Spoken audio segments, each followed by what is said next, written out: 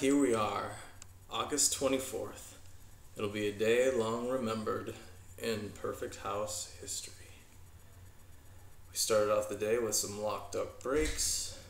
We then moved on to uh, a scorchingly hot, devastatingly hot day of moving and doing errands in the rooster. And we ended the day with using the rooster to tow the, the perfect house mobile uh, a couple blocks up Cahuenga Boulevard because the transmission blew it. Anyway, I'm sitting here in the remnants of my bedroom, which isn't my bedroom, isn't so much my bedroom anymore. But it's the only one I got. Not much of a bedroom. Still got my Serenity poster, still got my Rush poster. I haven't given them to John just yet, but eh, still got my stuff in it. It's cool. Ready to hit the road though. I guess we're sticking around here for another day or two because who knows how long the transmission is going to take to rebuild or do whatever to tomorrow. I think it's just seals. I think the seals went dry. I hope I don't. I don't hope. I'm pretty sure the transmission's okay. Just needs new seals, but that's kind of a lengthy procedure. Might take a while. So we were supposed to leave tomorrow morning at 10 a.m. Then we decided we needed to wait until the mail came, which is 1 or 2 p.m. because Chris and Andrea canceled their debit card and had to get a new one, and it's in the mail.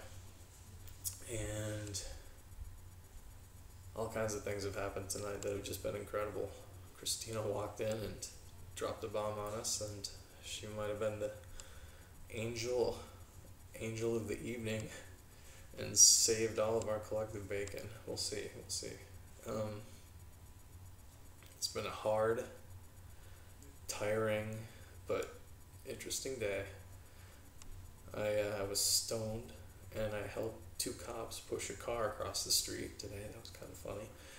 Uh, but I guess some of that good karma, even though a lot of bad karma, kind of, well, not bad karma, but bad luck fell on us. It was better here, happening right here close to the mechanic then halfway to the Grand Canyon, which is where we would have been tomorrow had we tried to drive the thing without uh, testing it out first which our mechanic recommended that we do, and we drove it into Hollywood and gave uh, Mike Garrow our TV and forced him to give us three hundred and fifty dollars.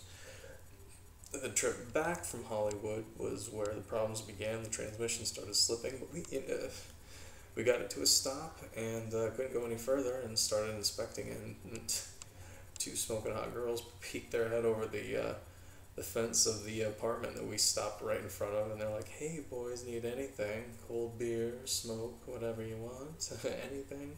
It was pretty cool. and uh, we got it a little further, and then it died, and did a lot of pushing and swearing and getting sweared at for blocking the on ramp to the 101 and half of Cahuenga Boulevard.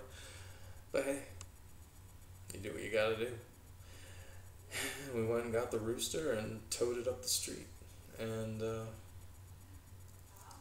first thing in the morning, we'll be taking it to the mechanic again and saying, uh, What's up? What do we got to do to get this right so we can get on the road? Austin, hope to see you on Monday. Ox, stand by. Good night.